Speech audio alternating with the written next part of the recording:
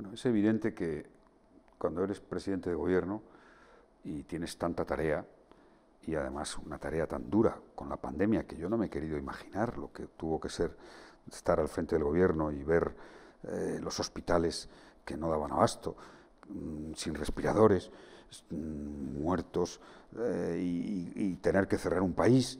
Ya se nos olvidó porque afortunadamente la capacidad del ser humano, del imperativo biológico, el imperativo biológico de luchar por la vida hace que se olvide casi lo peor de lo peor. Pero Claro, y a partir de ahí tener que volver a abrir la economía, etc. Él ha comparecido extraordinariamente en el Parlamento.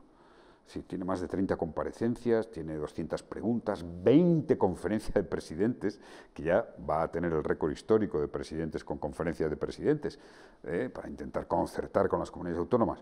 Y seguramente, pues lo último en lo que estaba pensando es en hacer entrevistas. Digo, y mucho más si las entrevistas eran eh, potencialmente, en fin, de convertirse en duelos, ¿no?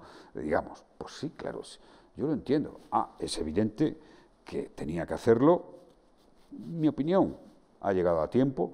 Esta vez no nos va a faltar eh, ni una semana ni un debate, ¿eh? como pasó en una famosa frase de Felipe González en el 96. Esa es mi opinión. Bueno, ahora hemos aprendido todos en esta precampaña algo, que la comunicación es incesante, es continua, y que tienes que estar siempre respondiendo. Esto es alguna lección que, que sin duda alguna se ha aprendido. ¿Cree que se está pinchando esa, esa, burbuja? No, ya se ha pinchado. Ya se ha pinchado. Yo he tenido que ver los datos que, que son públicos, algunos de los públicos pues, son menos públicos, pero eh, yo los conozco. Eh, la, la mejora de preferencia y de valoración que ha tenido Pedro Sánchez en las dos últimas semanas, el presidente del Gobierno, es muy impresionante en comparación con Feijó.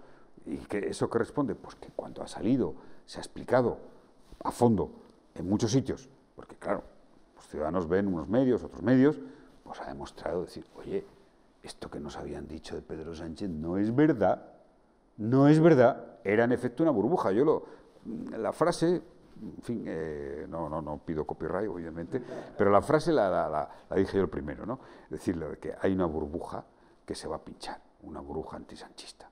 Y yo creo que se ha pinchado en gran medida.